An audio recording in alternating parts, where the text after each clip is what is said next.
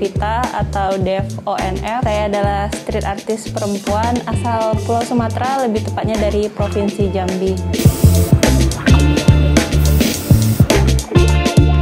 Awal mula saya turun ke dunia dari kecil memang udah suka gambar dari SD jadi terus sampai mulai kuliah itu saya mulai gambar realis di kertas. Dan di saat covid saya mengerjakan skripsi saya. Lalu saya berkenalan dengan teman-teman street art di Jambi. Akhirnya uh, mereka mengajak saya untuk uh, ikut gambar. Awalnya saya hanya melihat-lihat aja sih gitu. Lama kelamaan uh, saya penasaran dengan apa yang mereka lakukan. Akhirnya saya ingin mencoba sendiri. Saya mencoba pertama kali pakai spray cans itu menggambar pada tanggal 16 Juli 2022 saat pertama kali saya mencoba itu saya merasakan adrenalin yang berbeda dari apa yang saya buat sebelumnya di kertas yang biasanya hanya bisa saya lihat sendiri. Akhirnya karya saya bisa dilihat oleh orang ramai.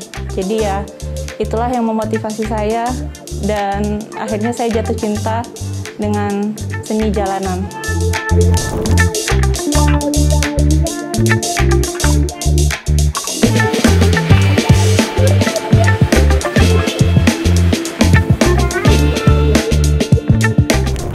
Tantangan sebagai wanita di dunia graffiti, kita masih menghadapi stereotip kalau graffiti masih didominasi oleh pria. Jadi tidak sedikit menganggap kalau perempuan itu lemah. Seorang wanita menggambar di jalan juga untuk resiko kejahatan yang terjadi juga sangat besar dan tidak aman.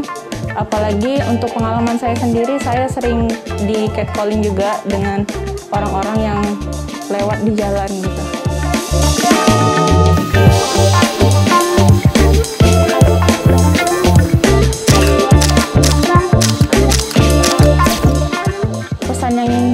Saya sampaikan dari karya yang saya buat, saya ingin menunjukkan kekuatan dari seorang wanita.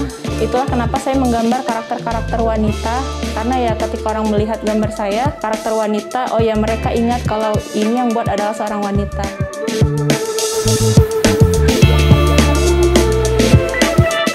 Untuk warna-warna favorit saya sebenarnya saya lagi suka warna-warna soft seperti pink dan ungu karena kan sangat menggambarkan seorang wanita jadi saya sangat suka dengan warna turunan pink dan Tone King seperti gerhana pink, magenta, dan pia pink.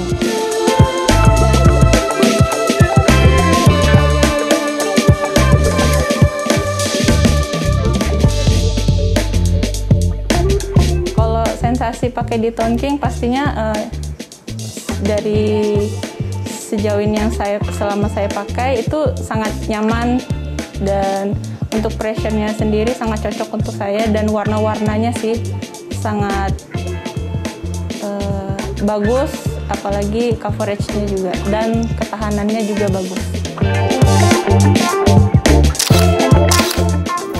Harapannya untuk karir saya ke depannya uh, semoga saya lebih konsisten lagi untuk menggambar di jalan dan dapat menginspirasi banyak uh, orang untuk menggambar terutama perempuan dan uh, harapannya ya semoga saya bisa menggambar di tembok yang lebih besar lagi dan membawa karya saya sampai ke luar negeri. Pesan untuk uh, orang-orang yang baru mulai menggambar, terutama para wanita, jangan takut untuk memulai dan jangan pernah lelah untuk latihan terus. Uh, tidak apa-apa jelek, kalau latihan terus pasti nanti uh, akan membuahkan hasil yang bagus percaya